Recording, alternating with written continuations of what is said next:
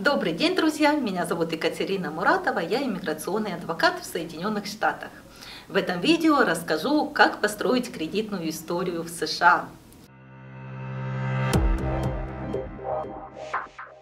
Часто мы слышим, что кредитная история является важным, необходимым элементом жизни в США.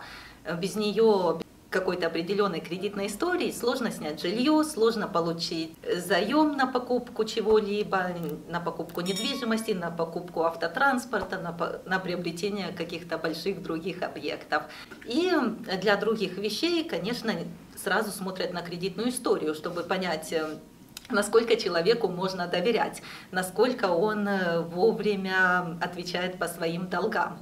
Э, что интересно в Соединенных Штатах, что человек может зарабатывать здесь э, много денег, официально, у него могут быть подтверждения с работы, и он может, э, ну, соответственно, показать историю, что эти деньги к нему приходят на счет, он официально работает, но без наличия кредитной истории это не является аргументом при подаче заявления на займ в банке или при снятии жилья. Это тоже является удивительным для многих вновь прибывших людей и сказав об этом, как начать строить кредитную историю.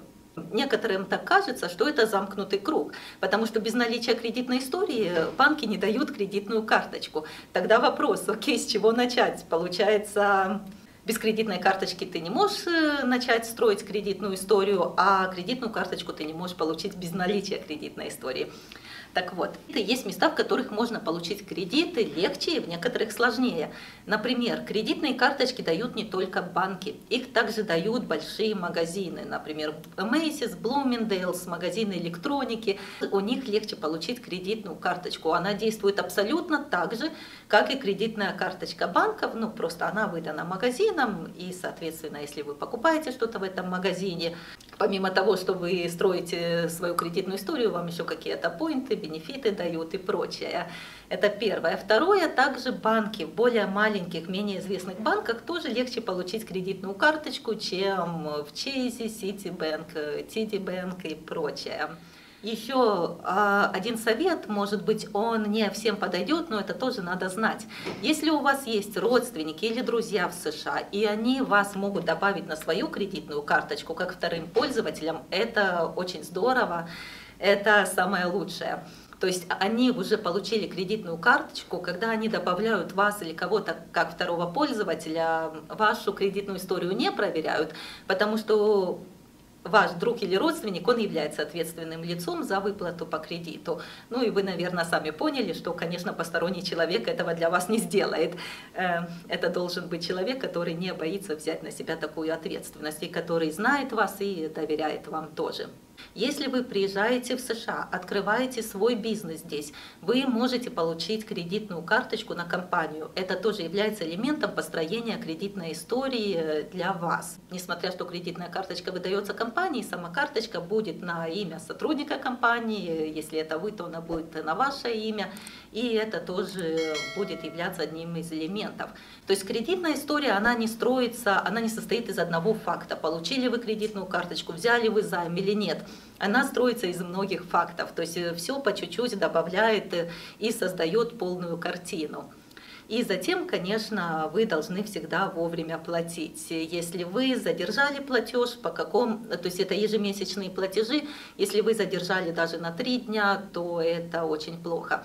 Но сейчас э, довольно просто с этим справиться. Когда я только приехала в Америку, я еще помню, за кредитные карточки мы платили, выписывали чеки, нам по почте приходил э, билл, мы выписывали чеки, тоже по почте отсылали. То есть если вовремя не проверил почту, это могло быть критически. Сейчас все онлайн, и тоже можно автоматически установить, чтобы автоматические платежи э, переходили на кредитную карточку. Я так делаю, и я даже не проверяю ежемесячно. То есть я спокойна, что моя оплата вовремя ушла. И для тех людей, кто только приехал, у кого нет кредитной истории, и у кого сложности снять жилье без кредитной истории, тоже могу дать совет. А вы жилье снимаете у частных лиц в основном, даже если у компании, то это частная компания, с ними можно вести переговоры. А какая практика в США? Когда человек снимает жилье, он платит э, за первый месяц аренды и за последний месяц, который держится как security deposit, да, как депозит и возвращается человеку только когда он уже съедет с квартиры. Так вот, э, с ними можно вести переговоры, если у вас есть финансовая возможность, может вы можете заплатить не только а, два месяца аренды, может вы можете вперед заплатить э, больше. Вы можете 4 месяца аренды заплатить или 6 месяцев аренды заплатить, что для вашего арендодателя послужит как дополнительная гарантия, что если вы вдруг через два месяца съедете и не будете платить, у него будет какая-то подушка безопасности. Ну а если вы, конечно, будете выполнять все свои обязательства, которые вы на себя взяли по договору, э, то вам тоже не за что волноваться. То есть эти деньги никуда не уйдут, они пойдут в счет вашей аренды. Еще один совет э, при получении кредитной карты. То есть кредитная карта – это банк вам дает кредит, но тоже надо смотреть, что предлагает каждый отдельный банк. А в банке могут быть разные программы. Есть одна из программ – это Security Credit Card. Что это значит? Что вы кладете определенную сумму, вы даете ее банку, и вам банк на эту сумму выдает кредитную карточку. Это отличается от вашего обычного счета, это не дебетовая карточка. А почему она не дебетовая? Когда вы кладете деньги на свой счет, и вы потом расплачиваетесь этой карточкой, с вашего счета эти деньги постоянно уходят.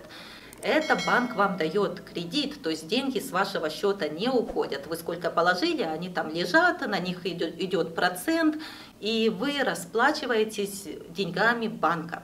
Но эти деньги, которые там лежат на вашем счету, они не трогаются, они будут тронуты банком только в том случае, если вы перестанете платить по кредиту, то есть возвращать банку те деньги, которые вы потратили. Если все нормально, вы вовремя все возвращаете, то, естественно, в какой-то момент вы можете забрать те деньги, которые лежали так называемая security, тоже подушка безопасности для банка. Вот это тоже может быть интересно некоторым зрителям и актуально. Это несколько советов. Если кто-то может посоветовать еще что-то из наших зрителей, которые живут в США уже, или их знакомые каким-то образом строили кредитную историю по-иному, пожалуйста, пишите в комментариях. Это будет очень интересно и полезно всем нашим зрителям. И если у вас ко мне вопросы, пишите, звоните. До скорых встреч!